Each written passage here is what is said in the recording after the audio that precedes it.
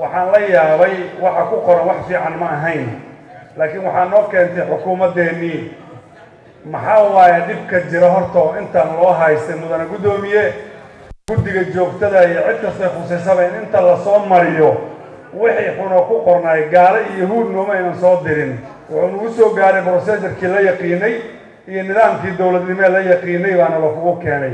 Waxa xunoo ku qoran waxay ahaydeen normal procedure gabadhii wasiiraddeeda inay timaado inoo akhrido kadibna loo dhiibo guddigii wakti kasta ha qaadato.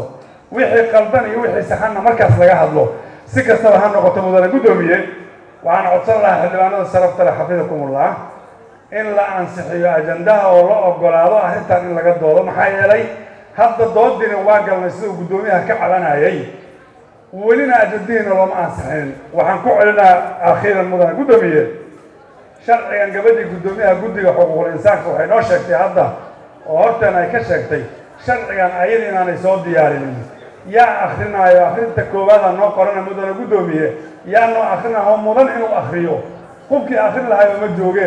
Codsigayga wuxuu yahay mudane guddoomiye oo labaad markaan xildhibaanada sharaftale ka codsado meeshaan wixii xun ee ku qoran waan iska bedelaynaa. Oo ay ka mid tahay in my opinion magaca sida loo soo qoray dhibna ma lahan akrintii koowaad iyo labaad iyo saddexaad iyo adduun baa noo dhiman. Culimo iyo caamo iyo khubaro ayaan kala tashan doonaa. Xildhibaanada waa isaga imaan doonaa. Magacan in aniga marnaba xasaasiyadaan ka qabaa. Galmada in la dhaho sideeda ay luqad qallabsan u tahay. Wax ka fiican haddii la heli karo waa la heli. Sideeda bayna galmadu aslan markii la yidhahdo waana ka xumayaan kelimadaas isticmaalee waa xalaal. Markii laakiin sharciga yimaado ay xaaraan noqoni. Sharcigii xaaraantinimayn lahaa biidni illaahi alkariim wuxuu noo noqonaa shareecada islaamkeed waa ka heshiinaynaaye adinkoo sharaf leh.